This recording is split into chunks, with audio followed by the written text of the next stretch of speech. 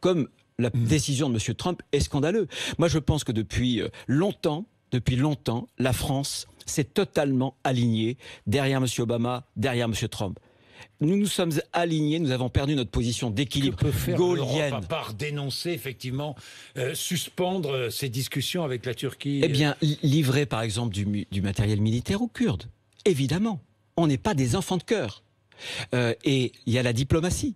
La diplomatie, c'est important. On fait faire le, Le- sale boulot aux, Kurdes. Mais, on, attendez, c'est terrible. On est en train d'abandonner Bah les oui. Kurdes et c'est les Bah Kurdes. oui, ils écoutez, font le sale boulot pour nous.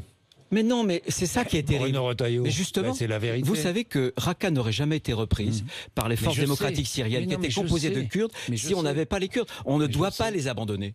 Et moi, je, je lutte, mais là aussi à mon niveau. Donc, euh, c'est le Parlement, c'est le gouvernement que j'essaie d'influencer pour dire attention, poser une limite, parce que avec des gens comme Monsieur Erdogan, on ne sait jamais où ils vont s'arrêter. Enfin, le, bien maître, évidemment. le maître du jeu, vous le connaissez. C'est Monsieur Poutine. C'est Monsieur Poutine. Eh bien justement, eh bien justement, ça fait depuis des années que je demande à la France euh, de reprendre un dialogue avec la Russie